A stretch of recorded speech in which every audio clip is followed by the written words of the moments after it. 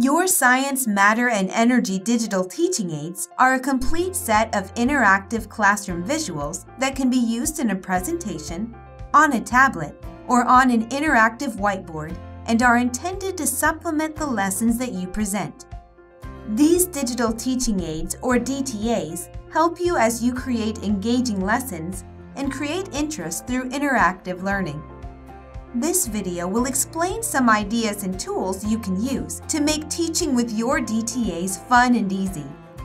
These DTAs correspond with the Science, Matter, and Energy curriculum and textbook and include images, videos, and interactive web pages that have been carefully selected from each chapter to aid you as you teach. A number of textbook images have been transformed into animations to help bring complex concepts to life by offering visual illustrations that promote deeper understanding. This DTA package also includes videos that clearly show the different principles and processes of topics presented throughout the course. These videos include audio narration, which provide a step-by-step -step process for each topic while also giving you the ability to pause and help students understand the process. One key to achieving successful flight is the airfoil, which produces lift.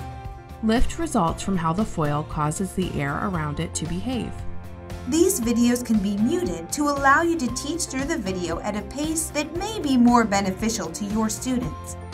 When downloaded, these videos can also be placed into a PowerPoint slide the slide can be set to continually loop through the video, so you can help students that may have questions, while others can watch the video to help them better understand the topic.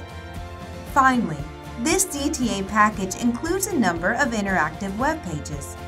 These interactive DTAs work like a physical example that could be performed in the real world, but without the preparation or cleanup of a real experiment.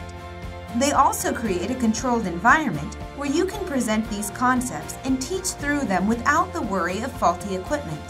Many of them allow you to change some of the variables and pause in the middle of an action to allow you to easily teach not just that something happens, but why it happens. They are designed to allow you to create the scenario and have your students tell you what will happen, or you can give a specific result and your student has to use the DTA to create it. We know these ideas and tools will help you create lessons that are full of creativity and interactive learning for your students.